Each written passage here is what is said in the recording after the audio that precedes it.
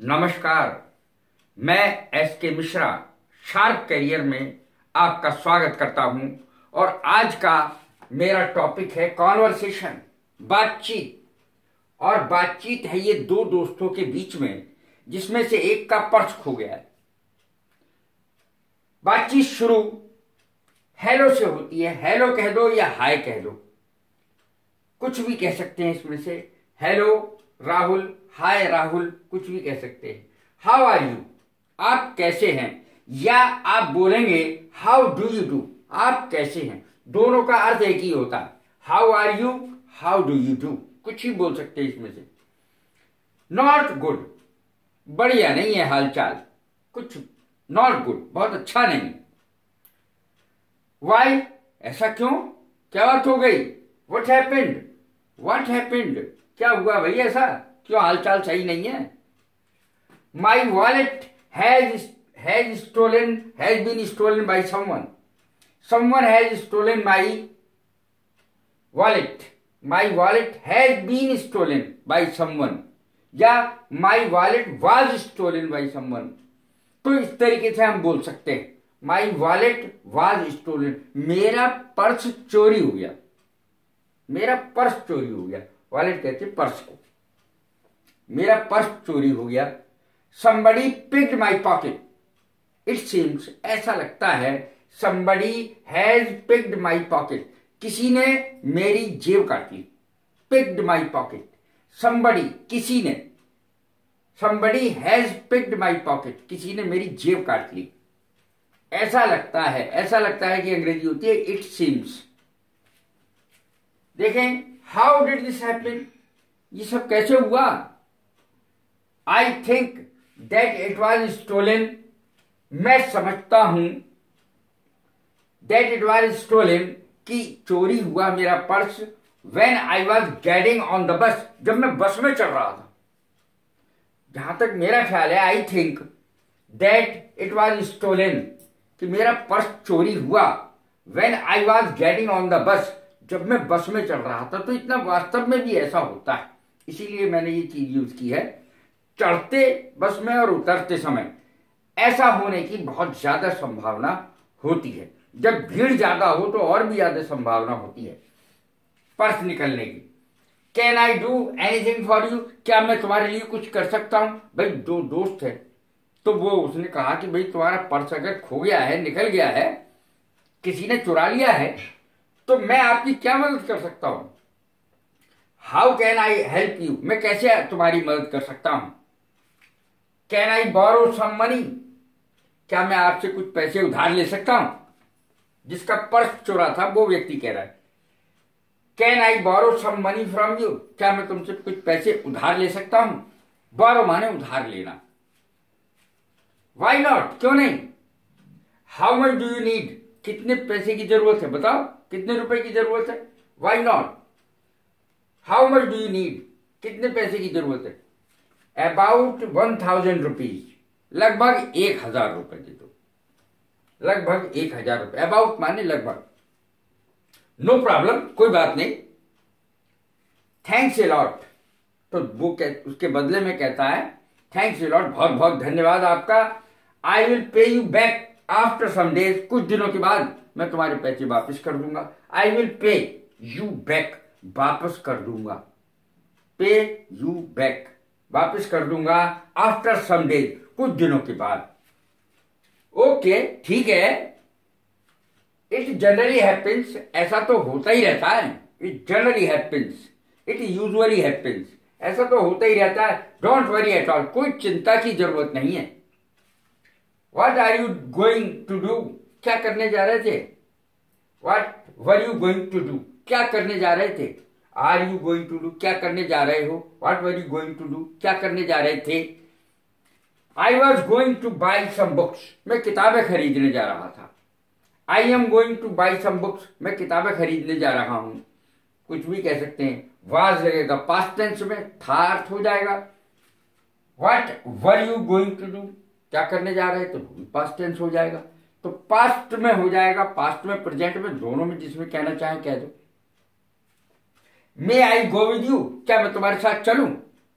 मे आई एकम्पनी you क्या मैं आपके साथ चल सकता हूँ?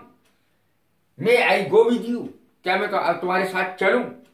यस हाँ हाँ. ऑफ़ कोर्स ज़रूर.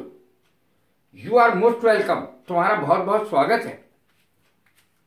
I will be back in five minutes पाँच मिनट में वापस आ जाऊँ I am going to get ready मैं तैयार होने जा रहा हूँ। I am going to get ready मैंने लिखा नहीं है इसमें।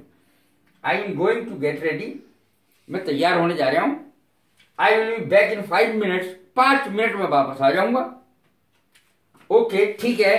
I will wait for you मैं तुम्हारा यहाँ इंतज़ार करूँगा। I will wait for you मैं तुम्हारा यहाँ इंतज़ार करूँगा। तो ये मैंने छोटी सी दो दोस्तों के बीच इस जिसमें से एक का पर्स खो गया है। ये बातचीत मैंने आपके सामने रखी। इसके बाद मैं कुछ वाक्य आपको दे रहा हूँ, जो कि बातचीत में उपयोगी बहुत ज़्यादा है। इसके अलावा, बातचीत के अलावा भी, बातचीत तो पूरी हो गई।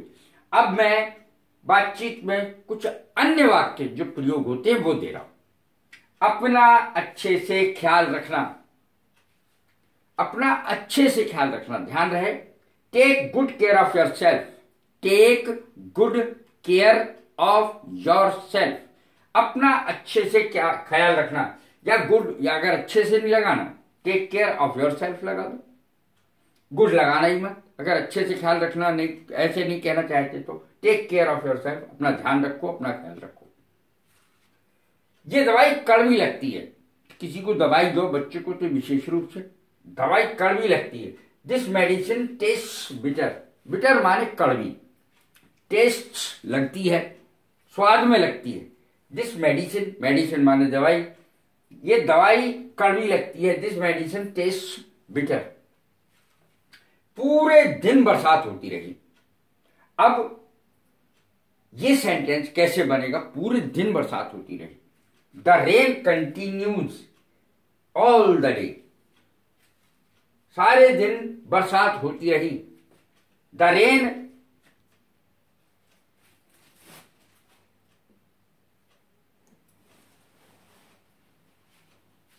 the rain. Rain माने वर्षा, बारिश, बरसात. The rain continued all day. सारे दिन कंटिन्यूड शब्द है ये. Continued all day. सारे दिन बरसात होती रही. पानी पीने लायक नहीं है. कोई भी चीज़ के लिए आप कह सकते चाय पीने लायक नहीं है, दूध पीने लायक नहीं है. इस तरीके से कोई पीने की चीज़ के लिए ये शब्द आ सकता है. The water is not drinkable. Drink माने पीना एबल माने लायक होना।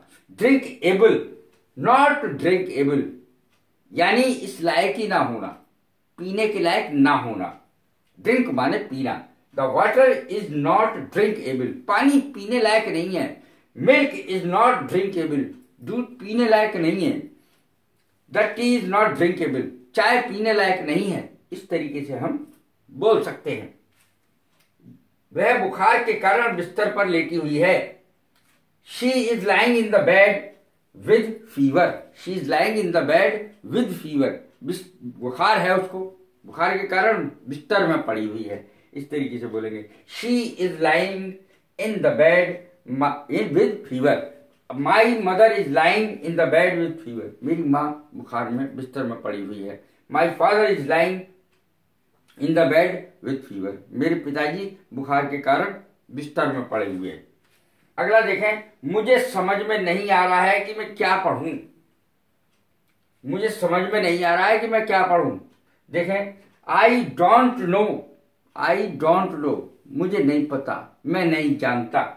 I don't know what to study क्या पढ़ूं वट टू डू क्या करूँ हाउ टू डू कैसे करूँ, ये सब हम लगा सकते हैं। आई डोंट नो मैं नहीं जानता वट टू डू क्या करूँ वट टू स्टडी क्या पढ़ूं हाउ टू स्टडी कैसे पढ़ूं।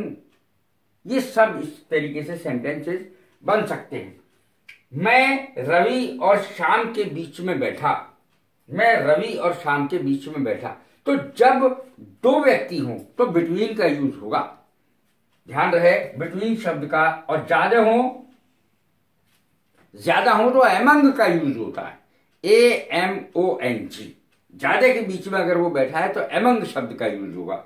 दो के बीच में बैठा है तो बिटवीन शब्द का यूज़ होगा। आई सेट मैं बैठा।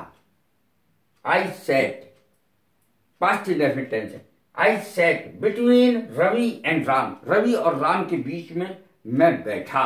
इस प्रकार से ये सेंटेंस बनेंगे।